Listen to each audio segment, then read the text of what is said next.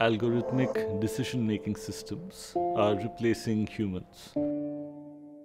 So in the past, whenever we have encountered, you know, paradigm shifting technological advancement, and one could argue advancements that we're seeing in machine learning and AI currently fall within that category they would always be accompanied by its own system of controls. So there would be peer review processes, there would be impact assessments, there would be review boards, and all of this happened within the confines of an academic environment. Now what we're witnessing is that most of this work is happening outside of academia within a handful of large corporations. And often what happens is that there is deployment of the technology and the debate and discussion about it follows thereafter.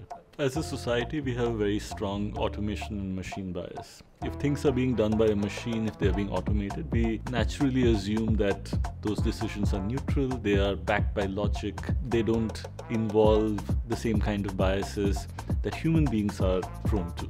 Unfortunately, that is not true when experts are relying on decisions being made by AI systems, decisions about healthcare, decisions about immigration, decisions about sentencing, parole, very high stakes decisions. There is no way for the algorithmic system to one understand the stakes of the decisions or to be able to in a comprehensive way explain why it has arrived at a particular decision. And that is the most problematic bit because not only we as consumers don't understand, but the experts who are relying on these feeds also don't understand.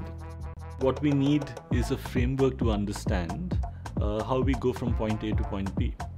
So, to give you an example, there are recommendation systems that determine what kind of videos YouTube shows us. And we don't need to understand the nitty gritties of the algorithms that make it work but we need a framework to understand that what about our profile, what about our previous search history might have led to it showing a particular video to us. It is only by more and more people having a clear understanding of the shortcomings of AI systems that we will get to a point where there is enough critical mass to push for legislation around it, to push for better regulation, to push for, for instance, judicial systems to be more cautious when they use systems of this nature. So my only hope is that when people watch this, they get a better understanding of why some of this is so messed up and uh, in whatever capacity they can question it in the future.